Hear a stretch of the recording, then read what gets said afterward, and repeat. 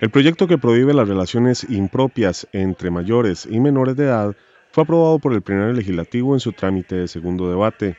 Establece penas de cárcel para las personas mayores de edad que sostengan relaciones, aunque sean consensuadas, con menores de edad. Además, se prohíbe el matrimonio entre estos grupos de población y se refuerza la educación sobre la sexualidad en los centros de enseñanza. El proyecto establece las siguientes sanciones. Será sancionado con pena de prisión quien se haga acceder o tenga acceso carnal por vía oral, anal o vaginal con una persona menor de edad en los siguientes supuestos.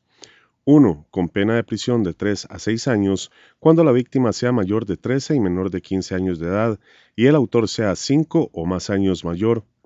2. Con pena de prisión de 2 a 3 años cuando la víctima sea mayor de 15 y menor de 18 años y el autor sea 7 o más años mayor.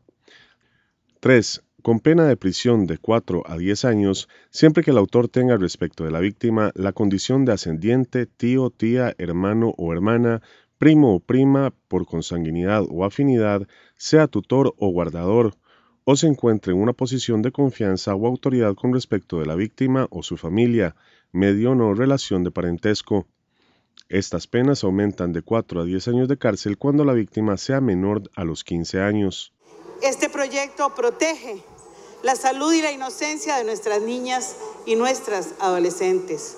Es un proyecto que establece fundamentalmente la prohibición del matrimonio antes de los 18 años, que eleva la edad del consentimiento de 13 a 15 años y que sobre todo le da al juez a quien le corresponda juzgar la relación impropia un criterio objetivo al establecer una diferencia de 5 años de edad cuando la menor o el menor tenga de 13 a 15 y el mayor sea 5 años mayor, valga la redundancia, y establece un criterio objetivo también en los menores de 15 a 18 años y establece 7 años de diferencia.